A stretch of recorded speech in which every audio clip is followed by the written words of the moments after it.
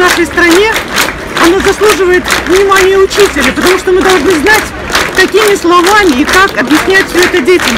Я никогда за всю свою жизнь не обманывала своих учеников, и они выросли достойными, честными людьми, самодостаточными, умными. Я знаю, что они здесь, на площади, значит, мой, мой долг быть с ними. Меня привела э, солидарность с теми из учителей, которые сделали свой выбор, выбор по совести, выбор э, выбрали отказаться от э, фальсификаций. Э, я верю, что большинство э, учителей к первому сентября э, выскажет свою гражданскую позицию, не будет присмыкаться перед э, силовой системой. Что вас привело на это мероприятие?